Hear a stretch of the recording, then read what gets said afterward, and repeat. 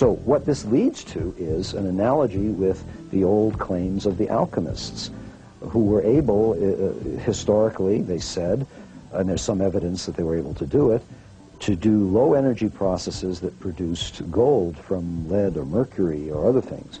Um, this is now being done in laboratories, and every instance I know of in the history of science where a small effect was seen initially to produce something was later scaled up.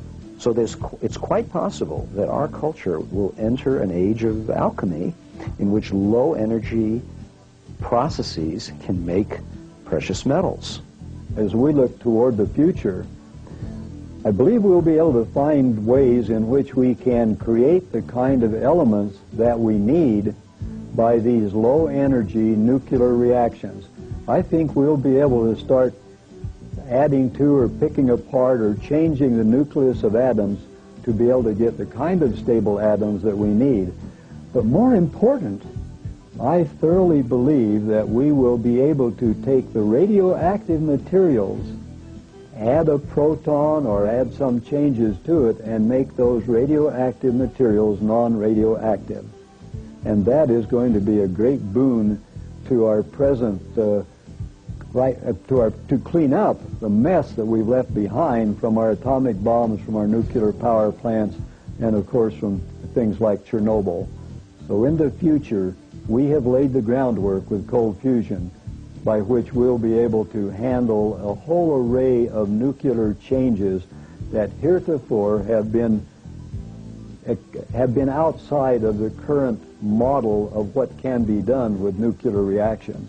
There are many power companies throughout the United States that are now on alert and they're sending their representatives to cold fusion conferences. We meet them all the time. They give support. They um, they really will be the vanguard of uh, the new energy age. Uh, I believe that uh, any utility company that does not get into this now is doomed because, frankly, when we have generators of electricity and heat that can stay in a home or a building, uh, why would anyone want to be plugged into the grid, the wire grid, any longer? This would make no sense. People will argue against that, but I think the grid will disappear. A remarkable process for sure, and one that offers exciting developments in the near future. But does the task of extracting energy from our environment really require such exotic, ultra-advanced technology that potentially would still put it under the control of large profit-driven interests? The rare metal palladium still have to be prospected, mined, and purified. Or are there simpler in design, low maintenance technologies available that could be bought off the shelf and installed by anyone for an affordable one-time fee? We're going to look in depth at several individuals and companies who have been working for years perfecting devices that they claim will do just that.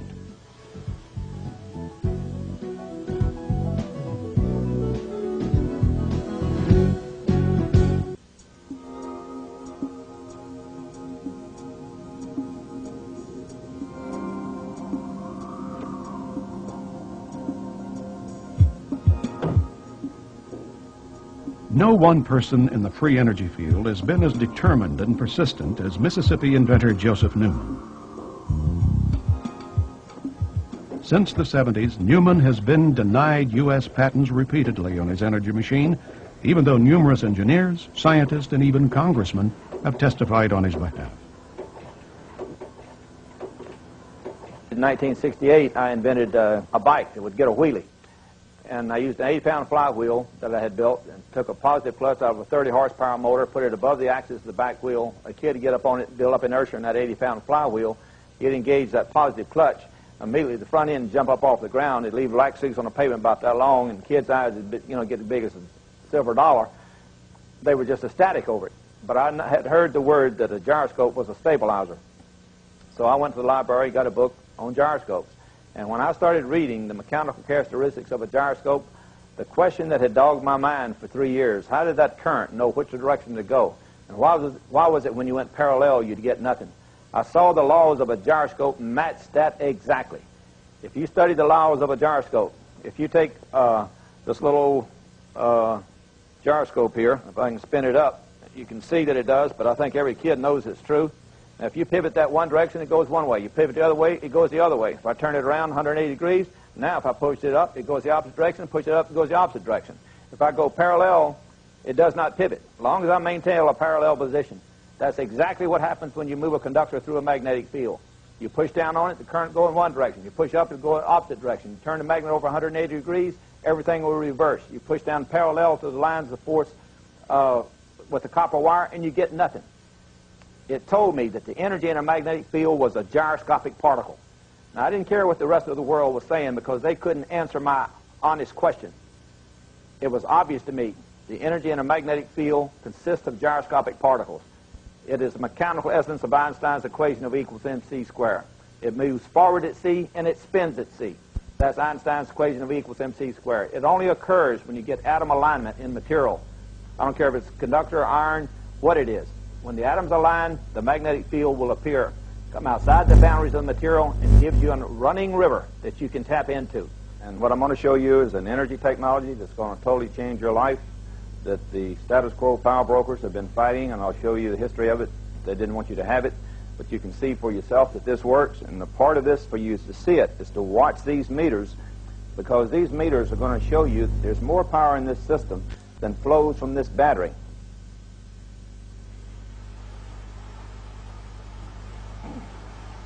The magnet runs down this shaft from one end to the other.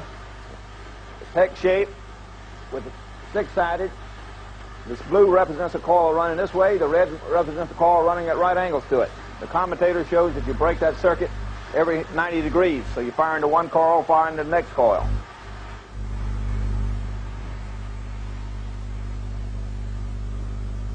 Now you notice this gets higher as it's running because the batteries start getting charged. Now this one's going from 200 up to 400. You see that there's more current being produced by this system than those batteries are capable of delivering because batteries will not produce RF power. So the RF power must be coming from the motor. Now RF power is true power, and the way you know this, this meter only works by converting the heat, and the heat is converted into electricity because it runs through a resistor. It's a very accurate measuring device. So you're well over twice the current is flowing in this system than these batteries are capable of delivering and the batteries cannot produce RF power. Now, this is real power. It has to be coming from the system. It clearly shows that the energy output of the system is greater than the energy inputted into the system. And that's what I've been saying. That's what's more than 30 scientists who came to my home from around the world. Some of them came all the way from England, signed affidavits that the invention worked. Uh, the special master to the court, Mr. William Schuyler, who was a former commissioner of patents, um, he was an electrical engineer. The federal judge chose him, saying his credentials were superb. He looked at those affidavits and gave the men the credit they were due. He said the evidence was overwhelming. The invention worked. There was no contradictory factual evidence, and the patent office had knowingly not followed the formalities of the patent law. To us as an observer, we see everything as motionless. We see objects and they sit still, and everything in the shop sits still. And so we think that's to us, again, as to the observer, we think the natural state of our planet is non-motion. But when in reality you get down to the basic makeup of the atoms of this material and you see that the natural state of the universe is motion. The unnatural state is what I have concluded is the lack of motion to the observer because that's when it, can, it forms into something and becomes a solid mass that will be interacted by other masses sitting close to it that causes it to sit still and not be able to travel because of its attraction. So we come along as the observer and we say the natural state of the, of the planets and the universe is lack of motion. Just like uh, we believe that so strongly, just several hundred years ago, we believed that the uh, Earth was the center of the universe and that uh, we were everything. And they even believed that the stars, even back at Kepler times, was only uh, like a cake full of raisins three miles thick. And the stars were little tiny raisins in it and that was our bias and our prejudice based on what we saw that everything should centralize around us. And uh, I'm saying now we should open our eyes